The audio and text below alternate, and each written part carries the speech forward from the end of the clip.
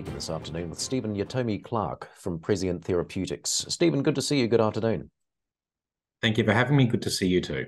Look, big milestone you've announced here this morning. The US FDA has granted uh, orphan drug designation for PTX 100. This is for, for broader TCL indications. Uh, tell us a bit more about what it That's means. Right. What's what's the significance here? I'll explain what orphan drug designation means. It's an initiative by the US regulator to encourage organizations like ourselves to develop drugs for smaller diseases that might otherwise be ignored in favor of uh, more common diseases that you can understand that would be bad for people with these rarer diseases.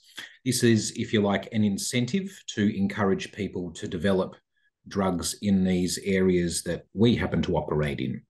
So to get that um, incentive, it, uh, it, it, includes several developmental benefits. Um, the, the biggest one is once you get your, mar- your drug approved, it guarantees seven years of market exclusivity to block people out from competition, regardless of the patent status in the world's biggest healthcare market.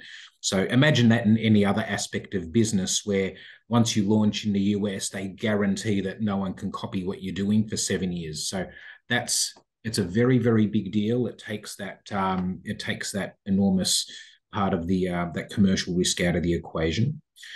Now, what's happened here is that we have applied for a couple of different blood cancers called T cell lymphomas.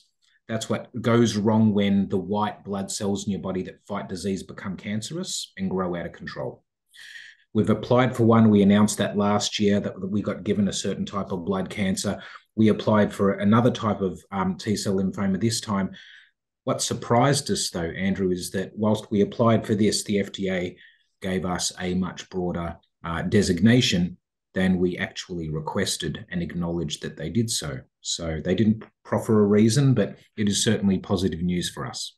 They didn't offer a reason. Uh, have you got any suspicions as to why they did so? I I can. I, we have we have some suspicions, but in in any case, um, rather than assume, let's reflect on the fact that it's a positive development because we now have a broader protection, mm. and that can only be a good thing for us.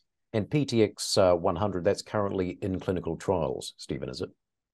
That's right. Not only is it in clinical trials, but it is um, at an interesting inflection point in our clinical trials. We've got data coming out very, very shortly, and an update.